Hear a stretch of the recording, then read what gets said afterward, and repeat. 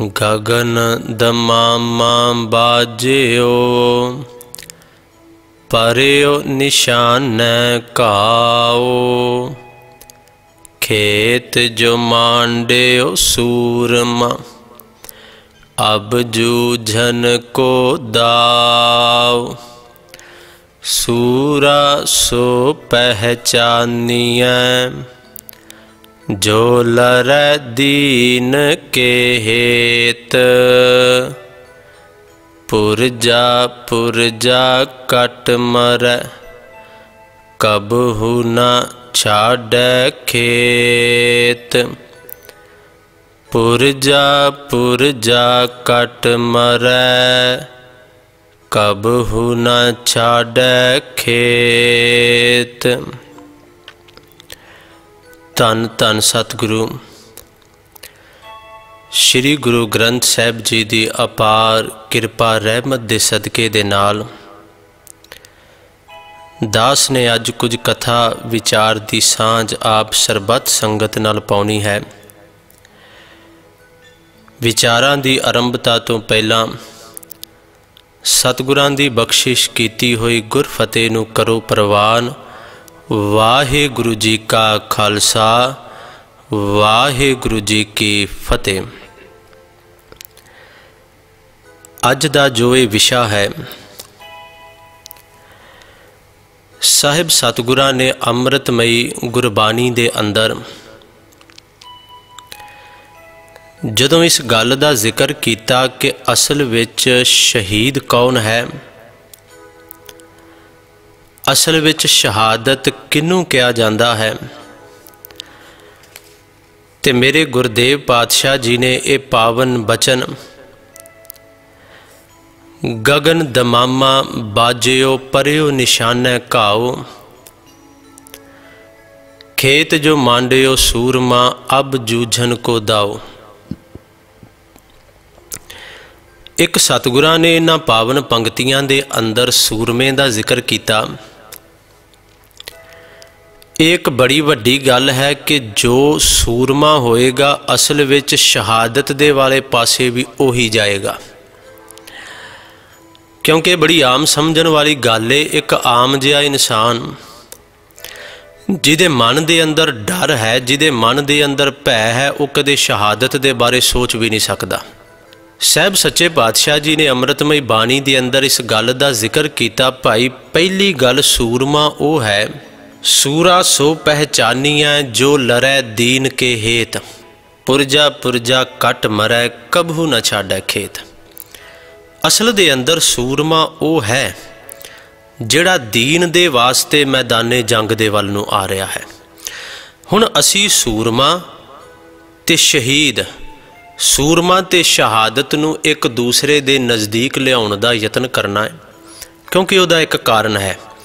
ਜਿਹੜੀ ਆਰੰਭਤਾ ਦੇ ਵਿੱਚ ਮੈਂ ਬੇਨਤੀ ਕਰ ਚੁੱਕਿਆ ਨਾ ਕਿ ਸੂਰਮਾ ਉਹ ਇਨਸਾਨ ਹੈ ਜਿਹਦੇ ਮਨ ਦੇ ਅੰਦਰ ਰੱਤੀ ਭਰ ਵੀ ਡਰ ਨਹੀਂ, ਕਿਉਂਕਿ ਅੰਮ੍ਰਿਤਮਈ ਬਾਣੀ ਨੇ ਵੀ ਜ਼ਿਕਰ ਕੀਤਾ ਇਸ ਗੱਲ ਦਾ ਕਿ ਉਹ ਇਨਸਾਨ ਕਦੇ ਸੂਰਮਾ ਹੋ ਹੀ ਨਹੀਂ ਸਕਦਾ ਜਿਹੜਾ ਮੈਦਾਨੇ ਜੰਗ ਨੂੰ ਵੇਖ ਕੇ ਡਰ ਜਾਏ। ਇਹ ਬਚਨ ਹਨ ਸਤਿਗੁਰਾਂ ਦੇ। ਕਹਿੰਦੇ, ਸੂਰ ਕੇ ਸਨਮੁਖ ਰਣ ਤੇ ਡਰ ਪੈ। ਉਹ ਸੂਰਮਾ ਕਾਂਦਾ ਜਿਹੜਾ ਮੈਦਾਨੇ ਜੰਗ ਨੂੰ ਸਾਹਮਣੇ ਵੇਖਦਿਆਂ ਨਾਲ ਹੀ ਡਰ ਡਰ ਕੇ ਕੰਬਣ ਲੱਗ ਪਵੇ। ਸੂਰ ਕੇ ਸਨਮੁਖ ਰਨ ਤੇ ਡਰ ਪੈ ਸਤੀ ਕੇ ਸੰਚੈ ਭਾਂਡੇ। ਇਹ ਉਦਾਹਰਨਾਂ ਮੇਰੇ ਪਾਤਸ਼ਾਹ ਜੀ ਨੇ ਦੇ ਕੇ ਸਾਨੂੰ ਸਮਝਾਇਆ, ਭਾਈ, ਸੂਰਮਾ ਮੈਦਾਨੇ ਜੰਗ ਨੂੰ ਵੇਖ ਕੇ ਡਰਦਾ ਨਹੀਂ, ਸਗੋਂ ਮੈਦਾਨੇ ਜੰਗ ਨੂੰ ਵੇਖ ਕੇ ਉਹਦੇ ਡੌਲੇ ਫੜਕਦੇ ਨੇ, ਉਹਦੇ ਮਨ ਦੇ ਅੰਦਰ ਸ਼ਹਾਦਤ ਦਾ ਚਾਹ ਪੈਦਾ ਹੋ ਜਾਂਦਾ ਹੈ। ਦੂਜੀ ਗੱਲ ਹਿੰਦੁਸਤਾਨ ਦਾ ਇਤਿਹਾਸ ਜਦੋਂ ਪੜ੍ਹਦੇ ਆ ਨਾ ਹਿੰਦੁਸਤਾਨ ਦੇ ਇਤਿਹਾਸ ਦੇ ਅੰਦਰ ਸ਼ਹਾਦਤ ਤਾਂ ਨਹੀਂ, ਪਰ ਬਲੀ ਸ਼ਬਦ ਸਾਨੂੰ ਬੜੀ ਵਾਰ ਮਿਲਦਾ ਹੈ। ਬਲੀ ਸ਼ਬਦ ਜਿਹਦੇ ਲਈ ਇਹ ਬੋਲ ਵੀ ਅਸੀਂ ਵਰਤ ਸਕਦੇ ਹਾਂ ਕਿ ਧਰਮ ਦੇ ਨਾਮ ਤੇ ਕੀਤਾ ਜਾਣ ਵਾਲਾ ਉਹ ਕਰਮ ਕਾਂਡ ਜਿਸ ਕਰਮ ਕਾਂਡ ਦੇ ਅੰਦਰ ਇਹ ਗੱਲ ਕਹੀ ਗਈ ਭਾਈ ਕਿ ਜੇ ਤੂੰ ਧਰਮ ਦੇ ਵਾਸਤੇ ਆਪਣੀ ਬਲੀ ਦੇ ਦੇਂਗਾ ਤੇ ਤੈਨੂੰ ਸਵਰਗ ਮਿਲ ਜਾਣਗੇ। ਜੇ ਤੂੰ ਧਰਮ ਦੇ ਵਾਸਤੇ ਆਪਣੀ ਬਲੀ ਦੇ ਦੇਵੇਂਗਾ ਤੇ ਤੂੰ ਉਸ ਪਰਮਾਤਮਾ ਦੀਆਂ ਨਜ਼ਰਾਂ ਦੇ ਅੰਦਰ ਕੁਰਬਾਨ ਹੋ ਜਾਏਗਾ। ਪਰ ਦੂਸਰੇ ਪਾਸੇ ਸ਼ਹਾਦਤ ਜਿਹੜਾ ਸ਼ਬਦ ਹੈ ਨਾ, ਸ਼ਹਾਦਤ, ਇੱਕ ਸ਼ਹੀਦ, ਸੱਚ ਜਾਣਿਓ ਪੂਰੀ ਮਨੁੱਖਤਾ ਦੇ ਵਾਸਤੇ, ਪੂਰੇ ਧਰਮ ਦੇ ਵਾਸਤੇ, ਜਾਂ ਮੈਂ ਸ਼ਬਦ ਵੀ ਵਰਤ ਲਵਾਂ ਤੇ ਕੋਈ ਅਤਕਥਨੀ ਨਹੀਂ ਹੋਏਗਾ। ਸੱਚ ਜਾਣਿਓ ਪੂਰੀ ਮਨੁੱਖਤਾ ਦੀ ਰਾਖੀ ਦੇ ਵਾਸਤੇ ਆਪਣਾ ਆਪ ਕੁਰਬਾਨ ਕਰ ਦੇਣਾ, ਭਾਵੇਂ ਕਿੰਨੇ ਵੀ ਤਸੀਹੇ ਕਿਉਂ ਨਾ ਚੱਲਣੇ ਪੈਣ। ਆਪਣੀ ਕੁਰਬਾਨੀ ਦੇ ਦੇਣੀ ਅਸਲ ਦੇ ਅੰਦਰ ਉਹਨੂੰ ਹੀ ਸ਼ਹਾਦਤ ਕਿਹਾ ਗਿਆ ਹੈ। ਮੈਂ ਵਿਦਵਾਨਾਂ ਦੇ ਬਚਨ ਪੜ੍ਹ ਰਿਹਾ ਸਾਂ।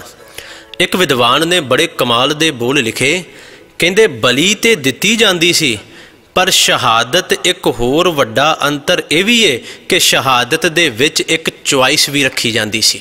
ਚੁਆਇਸ ਇਹ ਸੀ ਕਿ ਜਾਂ ਤੇ ਆਪਣਾ ਧਰਮ ਤਬਦੀਲ ਕਰ ਲੈ ਜੇ ਧਰਮ ਤਬਦੀਲ ਨਹੀਂ ਕਰਨਾ, ਉਸ ਤੋਂ ਪਹਿਲਾਂ ਵੀ ਕੁਝ ਹੋਰ ਚੁਆਇਸ ਸੀ।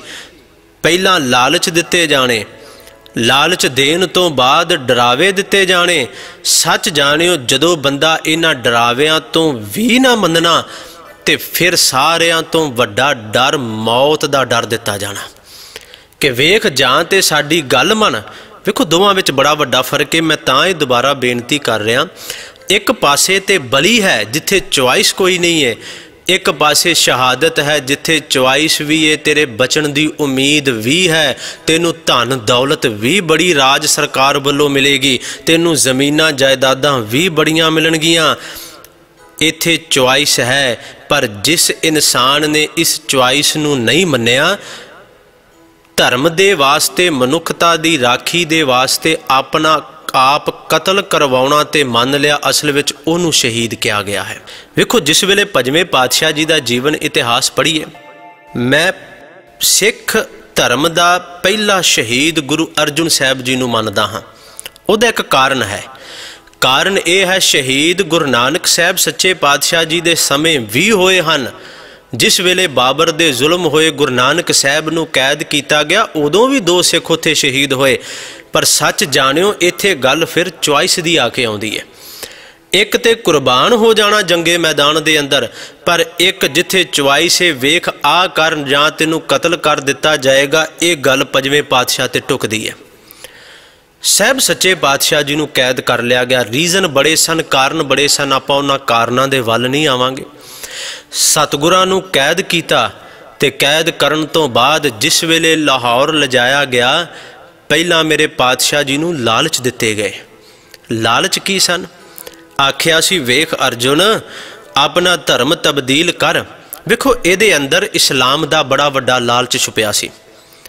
ਇਸਲਾਮ ਨੂੰ ਮੰਨਣ ਵਾਲੇ ਇਸ ਗੱਲ ਨੂੰ ਜਾਣਦੇ ਸਨ ਕਿ ਗੁਰੂ ਅਰਜੁਨ ਸਾਹਿਬ ਦੇ ਸਿੱਖ ਬੜੇ ਹਨ। ਇਸਲਾਮ ਨੂੰ ਮੰਨਣ ਵਾਲੇ ਇਸ ਗੱਲ ਨੂੰ ਜਾਣਦੇ ਸਨ, ਜੇ ਇਕੱਲੇ ਗੁਰੂ ਅਰਜੁਨ ਸਾਹਿਬ ਨੂੰ ਇਸਲਾਮ ਦੇ ਵੱਲ ਲੈ ਆਂਦਾ ਤੇ ਆਪਣੇ ਆਪ ਸਿੱਖ ਇਸਲਾਮ ਵੱਲ ਕਨਵਰਟ ਹੋ ਜਾਣਗੇ। ਕੋਈ ਜ਼ੋਰ ਲਾਉਣ ਦੀ ਲੋੜ ਹੀ ਨਹੀਂ ਪੈਣੀ। ਪਹਿਲਾਂ ਬੜੇ ਲਾਲਚ ਮੇਰੇ ਪਾਤਸ਼ਾਹ ਜੀ ਨੂੰ ਦਿੱਤੇ ਗਏ, ਧਨ ਦੌਲਤ ਦਾ ਲਾਲਚ ਦਿੱਤਾ ਗਿਆ। ਪਰ ਇਹਨਾਂ ਸਮਝਿਆ ਨਹੀਂ, ਇਹ ਸੱਚੇ ਪਾਤਸ਼ਾਹ ਉਹ ਨੇ ਜਿਹੜੇ ਭੇਖਾਰੀ ਤੇ ਰਾਜ ਕਰਾਵੇ ਰਾਜੇ ਤੇ ਭੇਖਾਰੀ ਇੱਥੇ ਧਨ, ਦੌਲਤ ਦਾ ਲਾਲਚ ਕਦੇ ਵੀ ਡੁਲਾ ਨਹੀਂ ਸੀ ਸਕਦਾ। ਸੱਚ ਜਾਣਿਓ, ਇਹ ਲੋਕ ਇਸ ਗੱਲ ਨੂੰ ਨਹੀਂ ਜਾਣਦੇ। ਇਹ ਗੁਰੂ ਅਰਜੁਨ ਸਾਹਿਬ ਸੱਚੇ ਪਾਤਸ਼ਾਹ ਉਹ ਨੇ ਜਿਹੜੇ ਭੇਖਾਰੀ ਤੇ ਰਾਜ ਕਰਾਵੇ, ਰਾਜਾ ਤੇ ਭੇਖਾਰੀ। ਇੰਨੀਆਂ ਰਹਿਮਤਾਂ ਜਿਸ ਗੁਰੂ ਦੇ ਅੰਦਰ ਨੇ, ਉਹ ਧਨ, ਦੌਲਤ ਦਾ ਲਾਲਚ ਲੈ ਕੇ ਕਿਵੇਂ ਡੋਲ ਜਾਂਦੇ? ਜਦੋਂ ਇਹ ਵੀ ਗੱਲ ਨਾ ਬਣੀ ਉਸ ਤੋਂ ਬਾਅਦ ਬੜੇ ਡਰਾਵੇ ਵੀ ਮੇਰੇ ਪਾਤਸ਼ਾਹ ਜੀ ਨੂੰ ਦਿੱਤੇ ਗਏ। ਤੇਰਾ ਪਰਿਵਾਰ ਕਤਲ ਕਰ ਦਿਆਂਗੇ, ਹੋਰ ਬੜੇ ਤਰ੍ਹਾਂ ਦੇ ਡਰਾਵੇ। ਤੇ ਜਦੋਂ ਕਿਸੇ ਪਾਸਿਓਂ ਵੀ ਗੱਲ ਨਾ ਨਾ ਬਣੇ, ਫਿਰ ਸਾਰਿਆਂ ਤੋਂ ਵੱਡਾ ਡਰ ਜਿਹੜਾ ਹੈ, ਉਹ ਡਰ ਹੈ ਮੌਤ ਦਾ ਡਰ। ਕਿਉਂਕਿ ਦੁਨੀਆ ਦੇ ਅੰਦਰਲਾ ਸਭ ਤੋਂ ਵੱਡਾ ਡਰ ਹੀ ਮਰਨ ਦਾ ਡਰ ਹੈ, ਕਿਤੇ ਮੌਤ ਮੈਨੂੰ ਨਾ ਆ ਜਾਵੇ।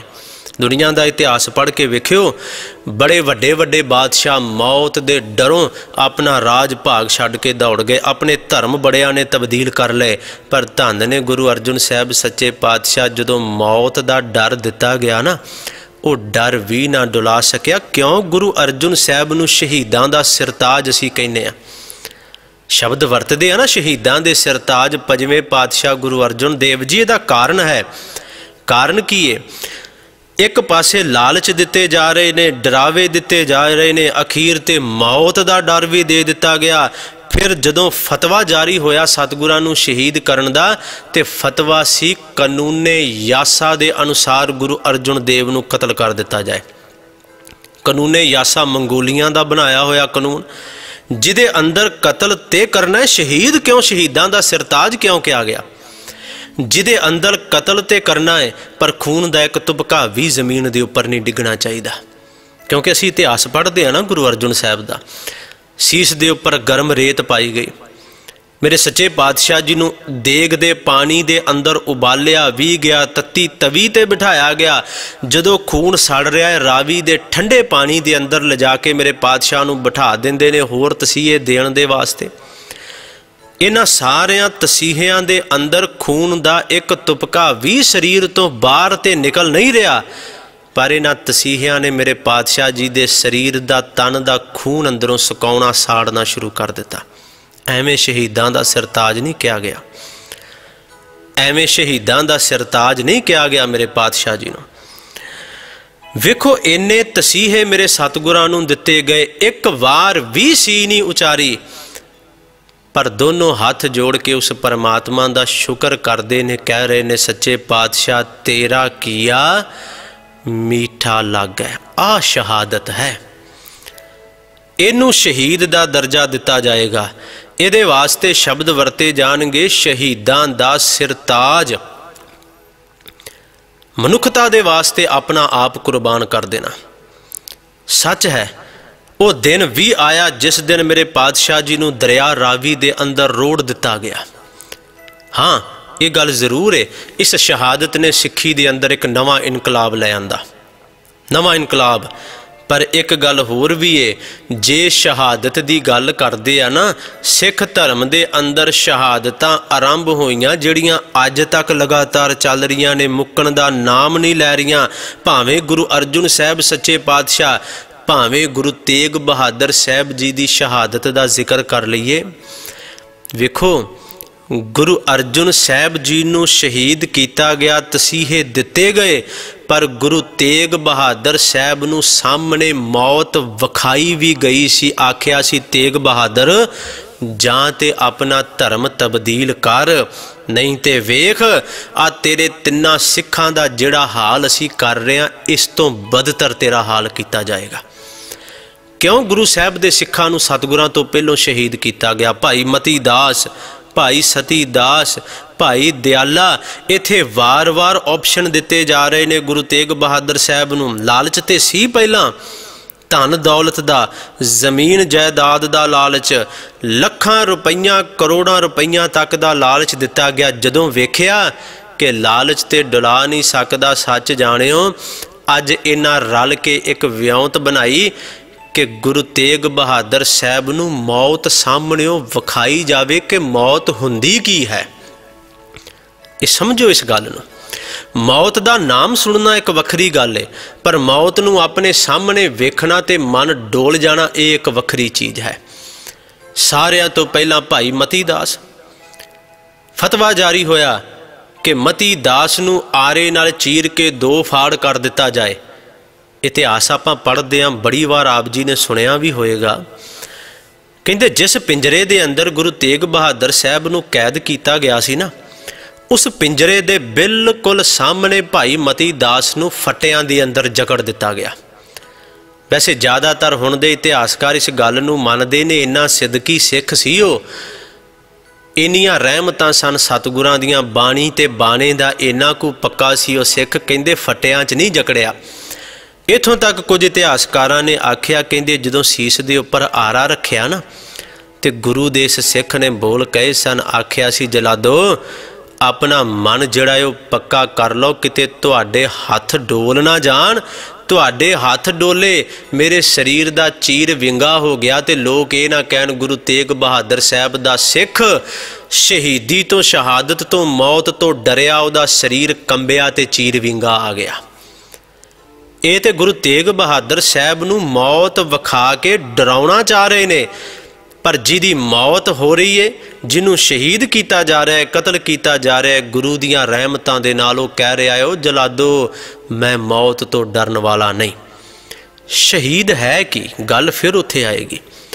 ਸ਼ਹੀਦ ਉਹ ਜਿਹਨੂੰ ਆਪਸ਼ਨ ਵੀ ਦਿੱਤੇ ਗਏ। ਗੁਰੂ ਤੇਗ ਬਹਾਦਰ ਸਾਹਿਬ ਨੂੰ ਮੌਤ ਸਾਹਮਣੇ ਵਿਖਾਈ। ਪਹਿਲਾਂ ਮਤੀ ਦਾਸ ਦੇ ਰੂਪ ਦੇ ਅੰਦਰ ਵੇਖ ਤੇਗ ਬਹਾਦਰ, ਜਾਂ ਤੇ ਧਰਮ ਤਬਦੀਲ ਕਰ ਲੈ, ਨਹੀਂ ਤੇ ਤੇਰੀ ਮੌਤ ਇਸ ਤੋਂ ਵੀ ਬਦਤਰ ਹੋਏਗੀ। ਜਦੋਂ ਭਾਈ ਮਤੀ ਦਾਸ ਸ਼ਹੀਦ ਹੋ ਗਿਆ ਨਾ, ਇਹਨਾਂ ਸਾਰਿਆਂ ਨੇ ਗੁਰੂ ਤੇਗ ਬਹਾਦਰ ਸਾਹਿਬ ਦੇ ਮੂੰਹ ਵੱਲ ਵੇਖਿਆ। ਕਈਆਂ ਨੂੰ ਤੇ ਸਮਝ ਆ ਗਈ ਕਿ ਚਿਹਰੇ ਦੇ ਹਾਵ ਭਾਵ ਨਹੀਂ ਬਦਲੇ, ਨਾ ਖੁਸ਼ੀ ਹੈ, ਨਾ ਗਮੀ ਹੈ, ਕੁਝ ਵੀ ਨਹੀਂ। ਫਿਰ ਵੀ ਜਾ ਕੇ ਸਤਿਗੁਰਾਂ ਨੂੰ ਇਹ ਬੋਲ ਕਹੇ ਗਏ, ਵੇਖ ਤੇਗ ਬਹਾਦਰ, ਜਾਂ ਧਰਮ ਤਬਦੀਲ ਕਰ ਲੈ, ਨਹੀਂ ਤੇ ਵੇਖ ਜੋ ਹਾਲਤ ਤੇਰੇ ਇਸ ਸਿੱਖ ਦੀ ਕੀਤੀ ਹੈ ਉਸ ਤੋਂ ਬਦਤਰ, ਉਸ ਤੋਂ ਮਾੜੀ ਤੇਰੀ ਹਾਲਤ ਕੀਤੀ ਜਾਏਗੀ। ਪਰ ਜਦੋਂ ਇਹਨਾਂ ਵੇਖਿਆ ਨਾ, ਨਹੀਂ ਡੋਲਿਆ। ਧਿਆਨ ਦੇਣਾ ਮੇਰੀ ਬੇਨਤੀ ਵੱਲ। ਜਦੋਂ ਇਹਨਾਂ ਵੇਖਿਆ ਕਿ ਗੁਰੂ ਤੇਗ ਬਹਾਦਰ ਸਾਹਿਬ ਨਹੀਂ ਡੋਲੇ, ਅਗਲੇ ਦਿਨ ਦੂਜੇ ਸਿੱਖ ਦੇ ਵਾਸਤੇ ਫਤਵਾ ਜਾਰੀ ਕੀਤਾ। ਭਾਈ ਸਤੀ ਦਾਸ ਦੇ ਵਾਸਤੇ ਕਿ ਰੂਹ ਦੇ ਵਿੱਚ ਲਪੇਟ ਕੇ ਇਹਨੂੰ ਅੱਗ ਲਾ ਦਿੱਤੀ ਜਾਏ। ਸ਼ਹੀਦ ਕਿਹਨੂੰ ਕਿਹਾ ਜਾਂਦਾ ਹੈ? ਸ਼ਹਾਦਤ ਕੀ ਹੈ ਉਹ ਭਲਿਓ? ਕਦੇ ਰੂਹ ਨੂੰ ਅੱਗ ਲਾ ਕੇ ਵੇਖਿਓ, ਉਹਦੇ ਭਾਂਬੜ ਨਹੀਂ ਮੱਚਦੇ। ਰੂਹ ਸੁਲਗਦੀ ਹੈ, ਹੌਲੀ ਹੌਲੀ ਸੁਲਗਦੀ ਏ ਅੱਗੇ ਨੂੰ। ਭਾਈ ਸਤੀ ਦਾਸ ਦੇ ਤਨ ਦੇ ਉੱਪਰ ਰੂਹ ਲਪੇਟੀ ਗਈ। ਉਹਨੂੰ ਅੱਗ ਲਾਈ ਗਈ, ਉਹ ਸੁਲਗਦੀ ਏ, ਹੌਲੀ ਹੌਲੀ ਮਾਸ ਤੱਕ ਪਹੁੰਚਦੀ ਏ ਅੱਗ ਤੇ ਮਾਸ ਨੂੰ ਆਪਣੇ ਨਾਲ ਚੰਬੇੜਦੀ ਜਾ ਰਹੀ ਏ ਉਹ ਰੂਹ। ਇਹ ਮੌਤ ਕੋਈ ਆਮ ਜੀ ਮੌਤ, ਇਹ ਸ਼ਹਾਦਤ ਕੋਈ ਆਮ ਜੀ ਸ਼ਹਾਦਤ ਨਹੀਂ ਸੀ। ਭਾਈ ਮਤੀ ਦਾਸ ਤੋਂ ਵੱਡੀ ਸ਼ਹਾਦਤ ਜਾਂ ਕਹਿ ਲਈਏ ਵੱਧ ਤਸੀਹੇ ਜਿਹੜੇ ਨੇ ਉਹ ਭਾਈ ਸਤੀ ਦਾਸ ਨੂੰ ਦਿੱਤੇ ਗਏ। ਭਾਈ ਸਤੀ ਦਾਸ ਸ਼ਹੀਦ ਹੋਏ, ਫਿਰ ਕਿਹਾ ਗਿਆ, ਵੇਖ, ਇਸ ਤੋਂ ਬਦਤਰ ਤੇਰੀ ਹਾਲਤ ਕੀਤੀ ਜਾਏਗੀ। ਜਦੋਂ ਫਿਰ ਪਤਾ ਚੱਲਿਆ ਕਿ ਧਰਮ ਤਬਦੀਲ ਨਹੀਂ ਹੋਣਾ, ਫਿਰ ਤੀਜੀ ਭਾਈ ਦਿਆਲੇ ਦੀ ਵਾਰੀ। ਅੱਜ ਫਤਵਾ ਜਾਰੀ ਹੋਇਆ ਕਿ ਦੇਗ ਦੇ ਪਾਣੀ ਦੇ ਅੰਦਰ ਉਬਾਲ ਕੇ, ਕਦੇ ਸੋਚਿਓ, ਮੈਂ ਬੜਾ ਛੋਟ ਵਿੱਚ ਤੁਹਾਡੇ ਅੱਗੇ ਬੇਨਤੀ ਕਰ ਰਿਹਾ। ਬਹੁਤ ਛੋਟ ਵਿੱਚ। ਅੱਜ ਪਾਣੀ ਦੇ ਵਿੱਚ ਦੇਗ ਵਿੱਚ ਭਾਈ ਦਿਆਲੇ ਨੂੰ ਬਿਠਾਇਆ ਗਿਆ। ਸੱਚ ਜਾਣਿਓ, ਥੱਲੇ ਅੱਗ ਬਲ ਰਹੀ ਹੈ। ਹੌਲੀ ਹੌਲੀ ਉਹ ਪਾਣੀ ਕੋਸਾ ਹੋਇਆ, ਫਿਰ ਗਰਮ ਹੋਇਆ, ਫਿਰ ਉਹ ਉਸ ਡਿਗਰੀ ਤੱਕ ਪਹੁੰਚਿਆ ਜਿੱਥੇ ਉਬਲਣਾ ਸ਼ੁਰੂ ਹੋ ਗਿਆ। ਜਦੋਂ ਉਹ ਪਾਣੀ ਉਬਲਣਾ ਸ਼ੁਰੂ ਹੋਇਆ, ਉਹ ਗੁਰੂ ਦਿਓ ਸਿੱਖੋ, ਕਦੇ ਉਸ ਵੇਲੇ ਨੂੰ ਆਪਣੇ ਜ਼ਿਹਨ ਦੇ ਅੰਦਰ ਲਿਆ ਕੇ ਵੇਖਣਾ, ਕਿਵੇਂ ਹੌਲੀ ਹੌਲੀ ਉਸ ਉਬਲਦੇ ਪਾਣੀ ਨੇ ਭਾਈ ਦਿਆਲੇ ਦਾ ਮਾਸ ਵੱਖ ਕਰਨਾ ਸ਼ੁਰੂ ਕਰ ਦਿੱਤਾ। ਕਿਵੇਂ ਉਸ ਉਬਲਦੇ ਪਾਣੀ ਦੇ ਅੰਦਰ ਭਾਈ ਦਿਆਲੇ ਦਾ ਮਾਸ ਪਹਿਲਾਂ ਰਲਿਆ, ਫਿਰ ਹੱਡੀਆਂ ਇੱਕ ਦੂਜੇ ਤੋਂ ਪਾਸੇ ਹੋਈਆਂ ਤੇ ਸੀਸ ਉਹਨਾਂ ਦਾ ਉਸ ਉਬਲਦੇ ਪਾਣੀ ਦੇ ਅੰਦਰ ਸਮਾ ਗਿਆ। ਇਹ ਸ਼ਹਾਦਤਾਂ ਨੇ। ਫਿਰ ਆਖਿਆ ਗਿਆ, ਤੇਗ ਬਹਾਦਰ ਸਮਝ, ਪਰ ਸਭ ਤੋਂ ਵੱਡੇ ਐਵੇਂ ਬੋਲ ਨਹੀਂ ਕਹਿ ਦਿੱਤੇ, ਤੇਗ ਬਹਾਦਰ ਧਰਮ ਦੀ ਚਾਦਰ। ਗੁਰੂ ਗੋਬਿੰਦ ਸਿੰਘ ਸਾਹਿਬ ਸੱਚੇ ਪਾਤਸ਼ਾਹ ਜੀ ਦੇ ਬਚਨ ਪੜ੍ਹ ਕੇ ਵੇਖਿਓ। ਗੁਰੂ ਗੋਬਿੰਦ ਸਿੰਘ ਜੀ ਨੇ ਬੋਲ ਕਹੇ ਨੇ, ਉਹਨਾਂ ਆਖਿਆ ਏ, ਧਰਮ ਹੇਤ ਸਾਕਾ ਜਿਨ ਕੀਆ, ਉਹਨਾਂ ਹਿੰਦ ਹੇਤ ਸਾਕਾ ਨਹੀਂ ਕਿਹਾ ਅਸੀਂ ਹਿੰਦ ਦੀ ਚਾਦਰ ਤੇ ਕਹਿ ਦਿੰਨੇ ਆ, ਪਰ ਗੁਰੂ ਤੇਗ ਬਹਾਦਰ ਸਾਹਿਬ ਨੇ ਆਪਣੀ ਸ਼ਹਾਦਤ ਦੀ ਚਾਦਰ ਦੇ ਨਾਲ ਪੂਰੇ ਧਰਮ ਨੂੰ ਢੱਕ ਲਿਆ। ਧਰਮ ਹੇਤ ਸਾਕਾ ਜਿਨ ਕੀਆ, ਸੀਸ ਦਿਆ, ਪਰ ਸਿਰ ਨਾ ਦਿਆ ਇੱਥੇ ਵੀ ਆਪਸ਼ਨ ਸੀ। ਇੱਥੇ ਵੀ ਬਚਾ ਦੇ ਤਰੀਕੇ ਸਨ, ਪਰ ਸ਼ਹਾਦਤ ਦਾ ਰਸਤਾ ਸਤਿਗੁਰਾਂ ਨੇ ਚੁਣਿਆ, ਤਾਂ ਮੇਰੇ ਪਾਤਸ਼ਾਹ ਨੂੰ ਸ਼ਹੀਦ ਕਿਹਾ ਗਿਆ। ਤੇ ਕਿਤੇ ਸਿੱਖ ਇਤਿਹਾਸ ਦੀਆਂ ਉਹਨਾਂ ਨਿੱਕੀਆਂ ਜਿੰਦਾਂ ਦੇ ਬਾਰੇ ਵੀ ਤੇ ਵਿਚਾਰ ਕਰੀਏ ਨਾ। ਜਿਨ੍ਹਾਂ ਦੇ ਬਾਰੇ ਇਹ ਬੋਲ ਕਹਿ ਤੇ ਦਿੱਤੇ, ਨਿੱਕੀਆਂ ਜਿੰਦਾਂ, ਵੱਡਾ ਸਾਕਾ, ਕਿੱਡਾ ਕੁ ਵੱਡਾ ਸਾਕਾ ਹੋਏਗਾ ਉਹਨਾਂ ਨਿੱਕੀਆਂ ਜਿੰਦਾਂ ਦਾ। ਕਿੱਡਾ ਕੁ ਵੱਡਾ ਸਾਕਾ ਹੋਏਗਾ। ਵੇਖੋ, ਮੌਤ ਦਾ ਡਰ ਉੱਥੇ ਵੀ ਨਹੀਂ ਹੈ ਮਨ ਦੇ ਅੰਦਰ। ਰੱਤੀ ਭਰ ਵੀ ਭੈ ਨਹੀਂ ਹੈ ਮਨ ਦੇ ਅੰਦਰ। ਜਿਸ ਵੇਲੇ ਛੋਟੇ ਸਹਿਬਜ਼ਾਦਿਆਂ ਨੂੰ ਵਜ਼ੀਰ ਖਾਨ ਦੀ ਕਚਹਿਰੀ ਦੇ ਅੰਦਰ ਪੇਸ਼ ਕੀਤਾ ਗਿਆ ਨਾ, ਲਾਲਚ ਇਹਨਾਂ ਨੂੰ ਵੀ ਬੜੇ ਦਿੱਤੇ ਗਏ ਸਨ। ਮੈਂ ਫਿਰ ਉਹੀ ਬੇਨਤੀ ਕਰਾਂ, ਸ਼ਹੀਦ ਸ਼ਹਾਦਤ ਹੈ ਕਿ ਆਪਸ਼ਨ ਹੈ ਚੁਆਇਸ ਹੈ ਤੁਹਾਡੇ ਕੋਲ, ਬਚਣ ਦੇ ਤਰੀਕੇ ਨੇ ਤੁਹਾਡੇ ਕੋਲ। ਤੁਸੀਂ ਰਾਜ ਭਾਗ ਜਿਉਂਦਿਆਂ ਸਾਰੀ ਜ਼ਿੰਦਗੀ ਮਾਣ ਸਕਦੇ ਹੋ। ਪਰ ਇਸ ਸਾਰੇ ਨੂੰ ਠੋਕਰ ਮਾਰ ਕੇ ਸ਼ਹਾਦਤ ਦਾ ਰਸਤਾ ਚੁਣਨਾ ਹੀ ਅਸਲ ਸ਼ਹੀਦ ਹੋਣਾ ਹੈ। ਚੁਆਇਸ ਸੀ ਬੜੀ ਛੋਟੇ ਸਾਹਿਬਜ਼ਾਦਿਆਂ ਕੋਲ। ਹਰ ਤਰ੍ਹਾਂ ਦੀ ਚੁਆਇਸ, ਰਾਣੀਆਂ ਤੱਕ ਦੀ ਚੁਆਇਸ ਦਿੱਤੀ ਗਈ। ਪਰ ਗੁਰੂ ਤੇਗ ਬਹਾਦਰ ਸਾਹਿਬ ਦੇ ਇਹ ਪੋਤਰੇ ਕਿਵੇਂ ਧਰਮ ਤੋਂ ਡੋਲ ਜਾਂਦੇ? ਇਥੋਂ ਤੱਕ ਵੀ ਇਤਿਹਾਸ ਦੇ ਬਚਨ ਪੜ੍ਹਦੇ ਆ ਕਹਿੰਦੇ ਸੂਬਾ ਇਸ ਸਰਹੰਦ ਵਜ਼ੀਰ ਖਾਨ ਨੇ ਮਲੇਰ ਕੋਟਲੇ ਦੇ ਨਵਾਬ ਸ਼ੇਰ ਮੁਹੰਮਦ ਨੂੰ ਵੀ ਸੱਦਿਆ ਸੀ। ਆਖਿਆ ਸੀ, ਵੇਖ ਆ ਤੇਰਾ ਬਦਲਾ ਲੈਣ ਦਾ ਮੌਕਾ ਤੇਰੇ ਹੱਥੇ ਇਹਨਾਂ ਦੋਨਾਂ ਬੱਚਿਆਂ ਨੂੰ ਕਤਲ ਕਰ ਤੇ ਆਪਣਾ ਬਦਲਾ ਲੈ ਲੈ। ਪਰ ਕੁਝ ਇਤਿਹਾਸਕਾਰਾਂ ਨੇ ਇਹ ਬੋਲ ਵੀ ਕਹੇ ਨੇ। ਕਹਿੰਦੇ ਮਲੇਰ ਕੋਟਲੇ ਦੇ ਸ਼ੇਰ ਮੁਹੰਮਦ ਖਾਨ ਨੇ ਹਾ ਦਾ ਨਾਰਾ ਮਾਰਿਆ ਸੀ। ਇਹਦੇ ਲਈ ਇੱਕ ਉਦਾਹਰਨ ਵੀ ਕਈ ਬੜੇ ਕਮਾਲ ਦੀ ਦਿੰਦੇ ਨੇ। ਕਹਿੰਦੇ ਇਹਨੇ ਸਮਝਾਇਆ ਸੀ, ਆਖਿਆ ਸੀ, ਵਜ਼ੀਰ ਖਾਨ ਆ ਪਾਪ ਨਾ ਕਰ।